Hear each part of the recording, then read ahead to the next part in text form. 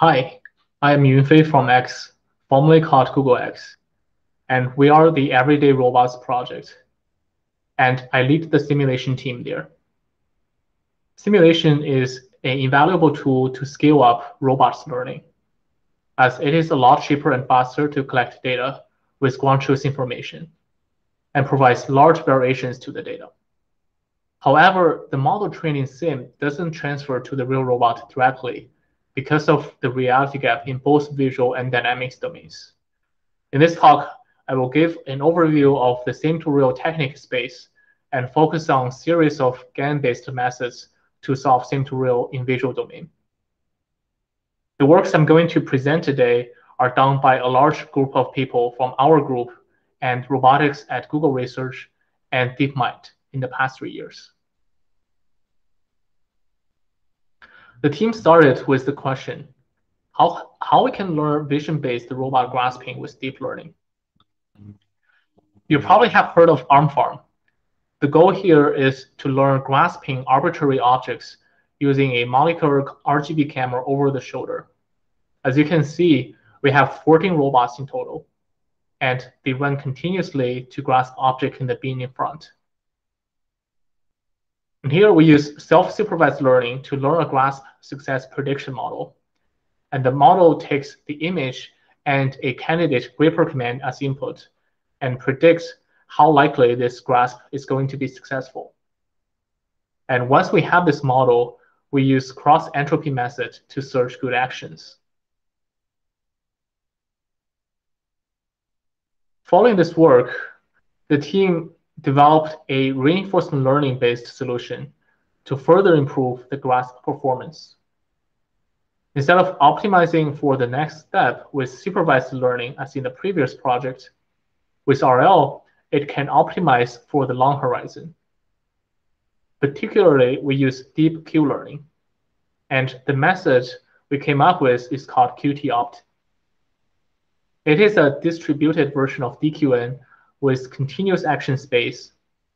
And compared to the previous supervised learning method, now the critic uses the learn Q function. And we showed significant progress in grasp success rate. So next question is, can we leverage simulation to reduce the amount of real-world trials and the data collection time? So here are some numbers. In the previous project, we need 600,000 real robot grasps for training. And it took us three months to collect this amount of data on seven robots.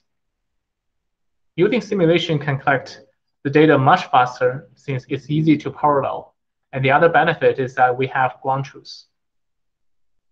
However, the model training sim doesn't transfer to the real robot directly because of the reality gap. The reality gap is the discrepancy of what can be achieved in sim and in the real world. And it is caused by many factors, such as dynamic model discrepancy, uncertain environment, and so on.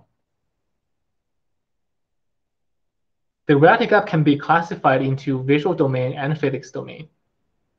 Visual here means what the robot camera sees.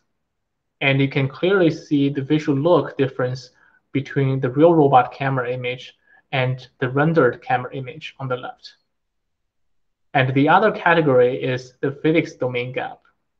For example, you can see on the right, the object dynamics is hard to simulate, especially if it is deformable like the cheat bag. And that also leads to grasping behavior difference. So we need to solve sim to real which is a problem of domain transfer from training in the virtual world to execution in the real world. So how do we solve the problem? In general, the sim-to-real transfer techniques in the visual domain are mainly in the following four categories. The first one is domain randomization, to create a lot of variations in sim during training, so that the real world can be thought as one variation during testing. And the second one is to use different object representation that can make sim-to-real transfer easier, such as using depth or point cloud. And the third one is feature level domain adaptation. This is to extract features from both sim and real domains that are required by the task, but abstract away anything that is specific to a domain. And the fourth category is pixel level domain adaptation to transfer the image style. For example, we can convert the synthetic images to make them look more realistic. In this talk, I'm going to focus on the fourth one, which is pixel domain adaptation. And I will describe a line of research using GAN to solve sim-to-real in the visual domain.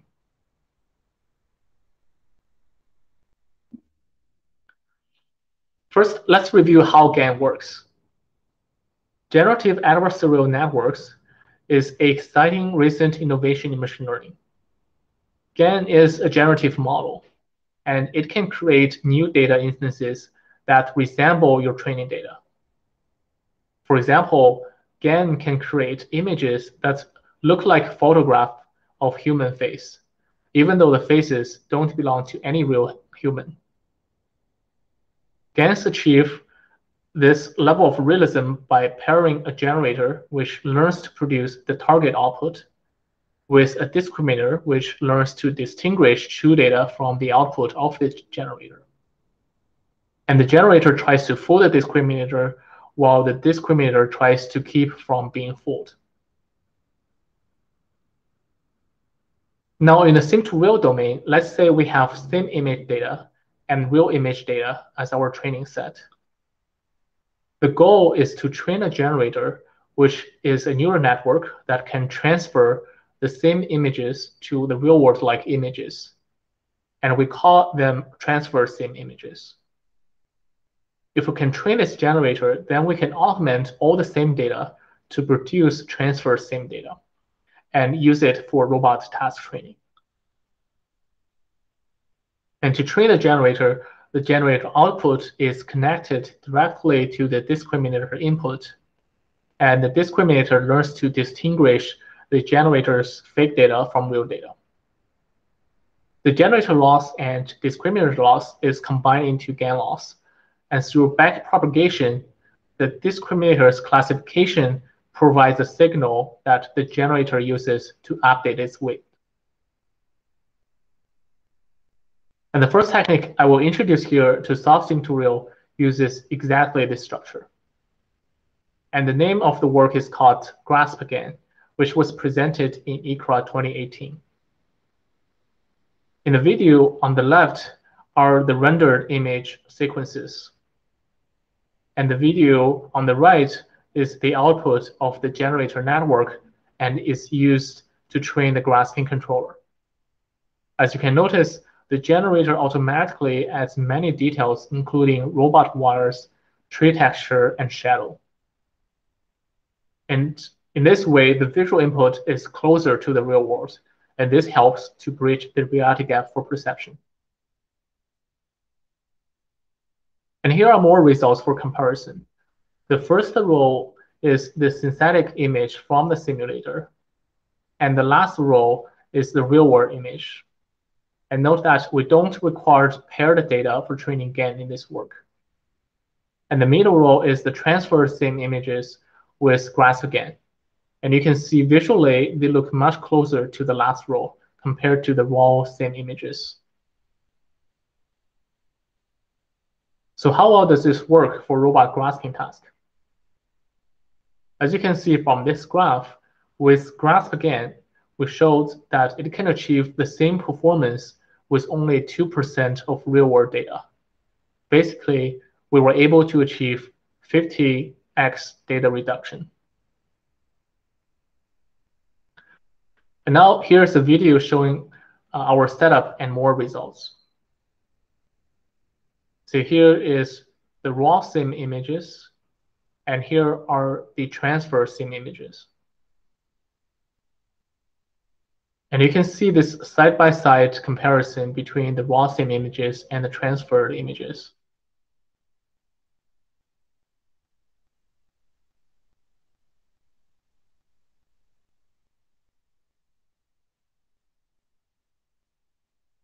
And we use thousands of randomized shapes for training robot grasping in SIM. And we tested on hundreds of real-world objects for grasping.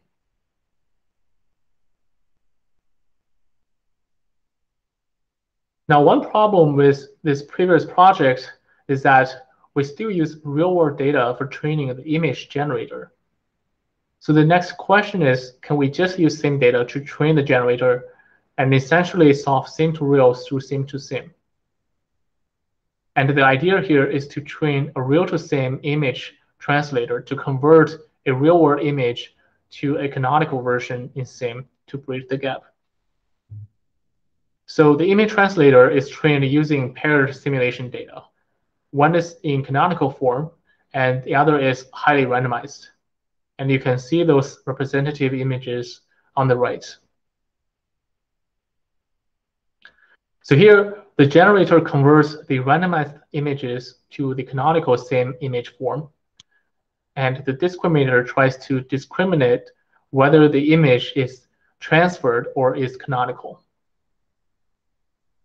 And finally, when it is applied to the real-world grasping, the real-world image is fed into the generator to produce the adapted image that is close to the canonical form. And in this way, we can bridge the gap between real and sim. And now if we look back at the GraspGAN structure, and here the idea is to replace sim image input with randomized sim image and replace real-world image input with canonical sim image. And we train a generator that can convert the randomized sim images to the canonical sim images. And this idea leads to this new technique called RCAN, which we presented in CVPR last year. And to stabilize training, besides GAN loss, we also use additional supervision, including how close the predicted segmentation mask and depths are to the ground truth ones. And here are some example results. The first row is the input to the generator, which are highly randomized. And the second row is the target ground truth image. And the third row is the output of the generator. You can see even though the input is very random, the output in the third row is very closely matching the ground truth in the second row. And the generated segmentation mask and depths are in the fourth and fifth rows. And they also look pretty good. More importantly, how well does it work for real-world image? And you can see in the video here, the input is on the left, and the generated one is in the middle. And you can see it works pretty well to convert the real-world image to this canonical sim image. And here are the results for the grasping task. And let's focus on the real-world performance in this box. With domain randomization, it doesn't transfer well on the real robots and only achieved around 30% grasp success rate.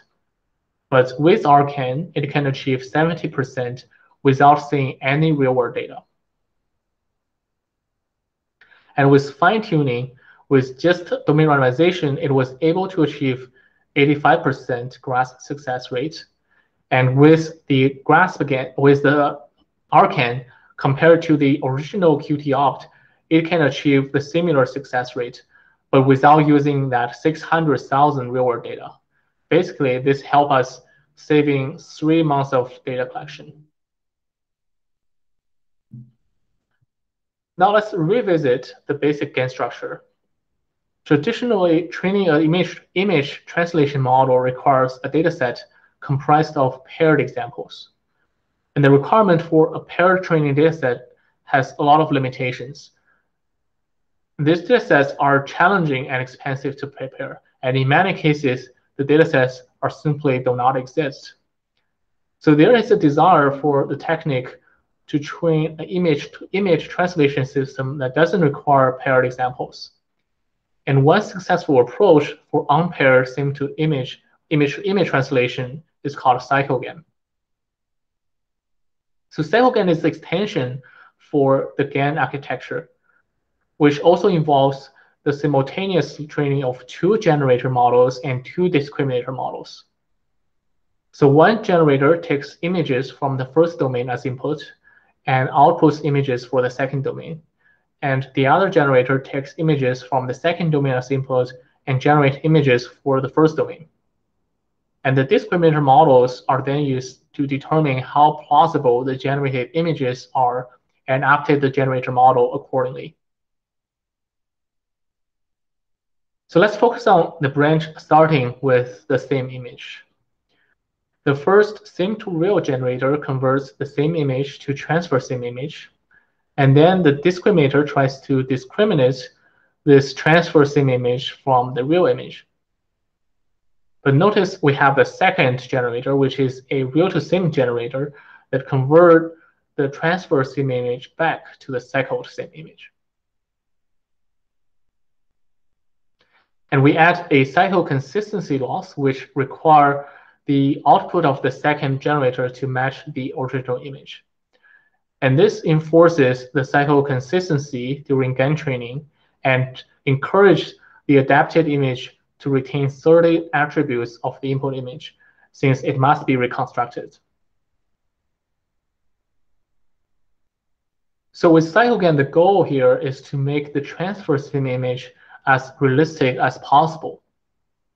However, it doesn't guarantee that it's useful for the actual robot task. For example, for grasping, it may produce very realistic images, but in the process may also remove some of the objects from the image if they are not easily transformed to realistic versions. So how can we enforce the generated images to be useful for certain robot tasks? And the idea here is to add a RL sim consistency loss for image translation. It ensures that the Q value from the transferred sim images after the sim after the image translation can match the Q value associated with the original image. And this idea leads to this new work we presented earlier this year in CVPR called RL CycleGAN. And this work uses CycleGAN, uh, as we just talked about, and on top of that, it also adds a task loss for matching the Q value to enforce the transfer image works for the grasping task. And to dive a little bit deeper, first, we introduce a RL sim consistency loss. So here, GANs are constrained such that the RL agents act consistently across adapted image and the original image. RL agents are trained jointly with GANs. And since the visual features for grasping simulation and reality may differ drastically, we train two different Q networks. So how well does it work? Uh, here we have two robot setups. Uh, for the first robot setup on the left, RL CycleGAN is able to achieve 94% grasp success rate with only previously collected off-policy trials. And this is higher than the previous grasp GAN method. And for the second setup on the right, with only 80,000 real episodes, which is much less than all the off-policy data we have, the model trained with RL CycleGAN reaches state-of-the-art performance at 95% grasp success rate, which is much higher than the 33% from simply mixing sim and real data.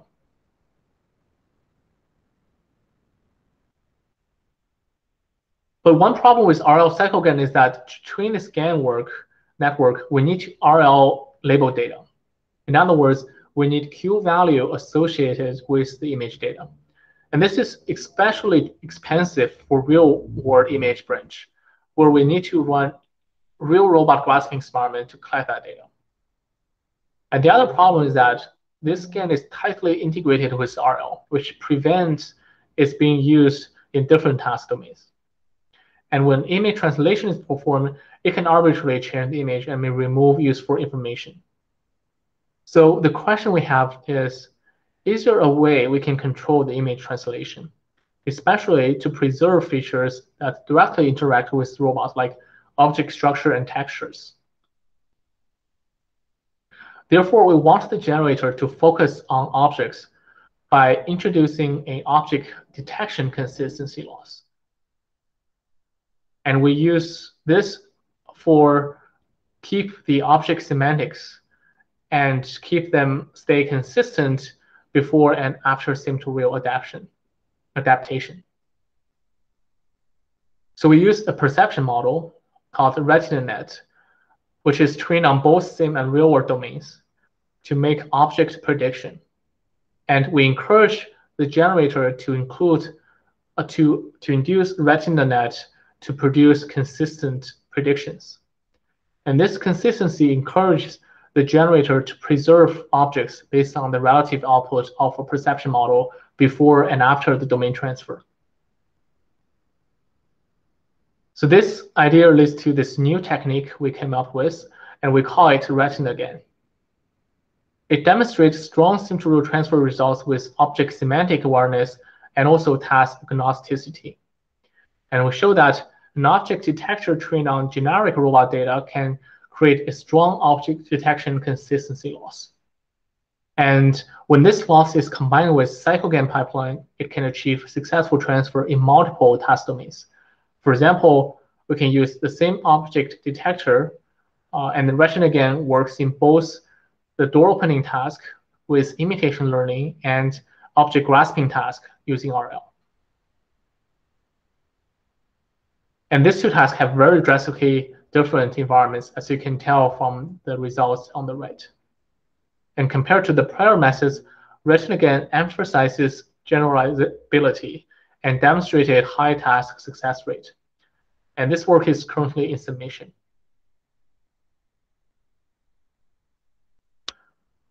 So to summarize, we need to solve sim-to-real, which is the problem of domain transfer from training the virtual world to execution in the real world. And the ideas we talk about today is sim-to-real is critical to enable large-scale machine learning. And the problem can be divided into visual and physics domains. And in visual domain, there are four main sim-to-real technique categories. They are domain randomization using different visual representations, feature level domain adaptation, and pixel level domain adaptation. And in this talk, we focus on the last category and introduce a series of GAN works to solve sim-to-real. And we show that with GAN, we can adapt simulation image to be more realistic. But note that sim-to-real is a very large space, and it is still an open problem in the robotics community. And here I listed some keywords and technique that worth looking into in the future. For example, today we talk about sim-to-real in the visual domain, and we need more advance in sim-to-real in the physics space. And we also need to solve real to sim. And at the same time, we also need to uh, come up with technique that can work in diverse tasks and environments. And here are the papers Uh, we published for these projects that I presented today. And here are the people who were involved in those projects. The works are done by a large group of people across X, Everyday Robot Projects, Google Brain, and DeepMind. And finally, thanks for your attention. And be sure to check out our Everyday Robots Project website Thank you.